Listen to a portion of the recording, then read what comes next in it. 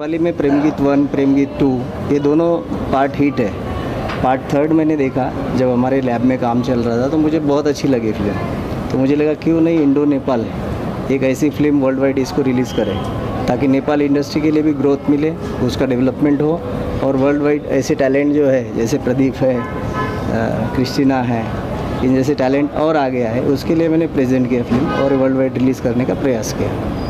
क्या कहना चाहिए जब इंडिया में जो फिल्म रिलीज हो रही है you can see you know we are here just for Yeah. To take Uh, to talk about the film Yeah, I, I'm feeling overwhelmed actually. Um, first of all, thank you for your presence. Uh, all I want to say is uh, we, India and Nepal not only has open border, but we both of us have open heart to our guests, and I think uh, we will be more than welcomed here.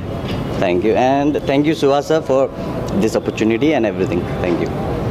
To the director director to the director sir Yeah, yeah. you can throw some light on it you know if the film is here uh, in India for yeah. the Indian audience and we India love every content you know tell us what is so important about it and Subhas sir himself presenting the film here in India ऐसा ऐसा हुआ था हमने Subhash sir के studio में जब काम किया उधर जब हमारा सब काम ख़त्म हो गया ट्रेलर देखने के लिए मैंने सुभाष सर को मिक्सिंग रूम में ले गया फिर उन्होंने इसको क्यों नहीं, इसको वर्ल्ड वाइड रिलीज़ करते?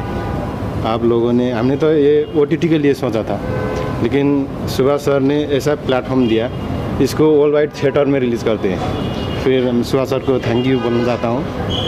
आप लोगों सबने इतना सपोर्ट किया है। एक नेपाल और इंडिया का जो दोस्ताना है, ये फ़िल्म के ज़रिए और मज़बूत हो जाएगा। Thank you sir as a क्या कहना आप क्या कहना चाहिए सुभाष जी ने मुझे एक्चुअल में इसका टेलर दिखाया और उसके बाद उन्होंने बोला एक पिक्चर बहुत अच्छी है हम इसको साथ में करते हैं। और टेलर देने के बाद मुझे ऐसा लगा कि वास्तव में पिक्चर जो है ना आने वाले समय में शायद इंडिया बॉलीवुड को थोड़ा सा अलग हट के कुछ देने वाली है। तो बाकी मैं सुभाष जी के साथ ही था। Ma'am what you have to say और प्रेम गीत।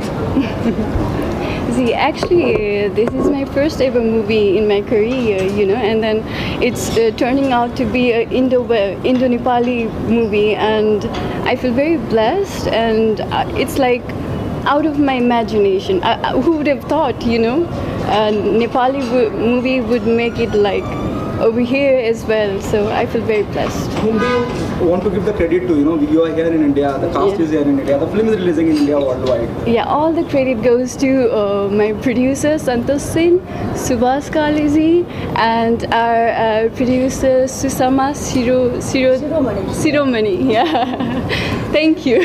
Subhas, there is a possibility, you know, when, whenever a, a film become a huge hit across the globe, there are possibility, you know, उसका रीमेक बनाया जाता है या उस पर adaptation किया जाता है हिंदी अडेप्शन होता है there पॉसिबिलिटी कि इस फ़िल्म का कुछ ऐसा हो जिस तरह का जिस जि, जितना तारीफ़ आप सब कर रहे हैं और जितने कॉन्फिडेंट आप लग रहे हैं एक्चुअली फ़िल्म अभी हिंदी और नेपाली में तो रिलीज़ हो ही रही है।